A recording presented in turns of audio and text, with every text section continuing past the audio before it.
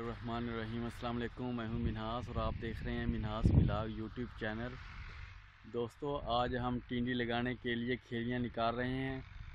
तो खेलियाँ तकरीबन छः फुट के फासले पर निकाल रहे हैं। टिंडी के अंदर बैंगन भी लगाना है, ताकि दोनों साइड पे बैंगन लग सके और दोनों साइड पे ही टिंडी लग सके। तो ज़मीन फुल तैयार पड़ी है, देखें मेरी बैक से, यहाँ पर देख सकते हैं। ये के साथ ये रस्सी गाड़ी हुई है, ताकि बराबर पमैश के पटड़े बन सकें। ये देखें, एक आदमी लगाया हुआ है ताकि वो अपने कदमों कदमों के निशान देता जाए, उस पर टायर चलेगा, ट्रैक्टर का, और हाल पीछे से चलता जाएगा, ताकि सीधी खेल निकले, और दूसरा पटड़ा जो है वो छः फुट का हमने रखा हुआ है, बराबर पमैश के पटड़े बना रहे हैं रस्सी लगा के पटड़े निकाल रहे हैं ताकि बराबर पमैश के बने ये सामने ट्रैक्टर आ रहा है। ये बिल्कुल उसी कदमों पे आ रहा है। इसके जो टायर हैं, वो उसी कदमों पे चलते आ रहे हैं। ये रस्सी लगाई हुई है। ये देखें छः फुट के फासले पे निशान देते आ रहे हैं। वैसे निशान पे ट्रैक्टर चलता आ रहा है, ताकि साइज़ में और दूसरा लाइनें सीधी हों, साइज़ एक जैसा हो। ये देखें, सामने एक बंदा आ रहा है, अपने कदमों का निशान लगाता।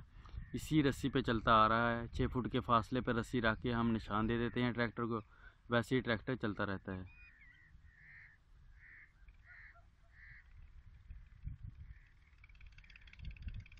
इस तरह खेलें सीधी भी निकलती हैं और बराबर साइज़ के पर्डे भी बनते हैं।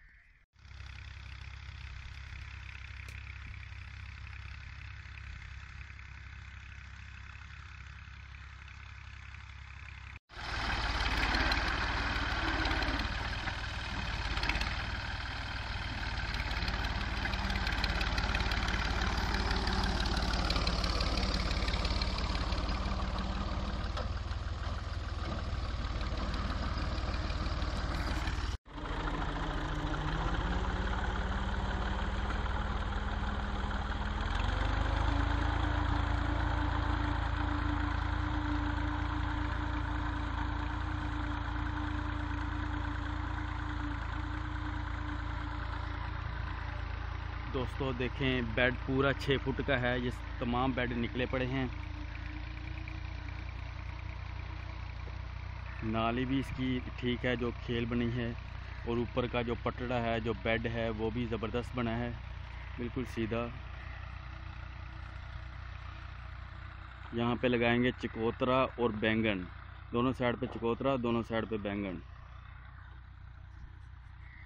दोस्तों, ज़मीन की अच्छी तैयारी के बाद खेलियाँ भी सीधा निकालना होती हैं। अगर खेलियाँ सीधी नहीं होंगी तो ज़मीन अच्छी बनी हुई नज़र नहीं आएगी। दूसरा, जो पौधे होंगे, वो मुतासर होंगे। कहीं पानी ज़्यादा लगेगा, कहीं कम लगेगा, इसलिए खेलियाँ बिल्कुल सीधी हों और साइज़ खेलियों का बराबर हो, जो कि हम मेहनत कर रहे हैं। यहाँ पे रस्सी रख के सीधा और कदमों के निशान लगाते हैं, क्योंकि एक कूड़ है ट्रैक्टर के हल का क्योंकि छः फुट के फासले पर दूसरी खेल निकालनी होती है। तो इसलिए ये थोड़ी सी मेहनत ज़्यादा करनी पड़ रही है, लेकिन अगर दो कूड़ हों तो ये दोनों कूड़ खेल के अंदर खेल डाल के ले जाएगा। दोस्तों, ट्रैक्टर अगर हम डायरेक्शन देंगे, उसी सीमत में ट्रैक्टर खेलियाँ निकालेगा। अगर दो कूड़ों तो खेल के अंदर खेल डाल के ट्रैक्टर बिल्कुल सीधी खेल लेके जाएगा और बराबर साइज़ की। लेकिन एक कूड़ के लिए मसला होता है, क्योंकि एक हल होता है तो ट्रैक्टर वाले को सही तरह समझ नहीं आती, वो अंदाज़न चलता है।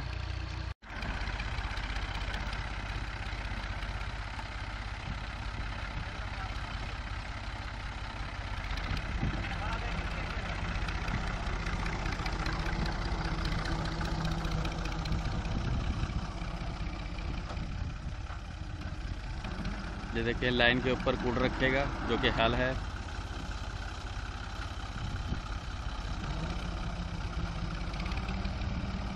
ये ले गया खेत डाल के। तो ये खेलियाँ बन चुकी हैं। ये पूरे दो एकड़ की खेलियाँ हमने बनाई हैं, जिसमें बैंगन और टिंडी लगाएँगे। देखिए एंड तक है। ये चार बीघों मतलब दो एकड़ की खेलियाँ निकल चुकी हैं। ये छः फुट का पटड़ा है जो ऊपर पड़ा है और बीच में डेढ़ फुट की नाली है। दोस्तों, ये खेलियाँ निकल चुकी हैं दो एकड़ की जिसमें टिंडी और बैंगन वगैरह लगाएँगे।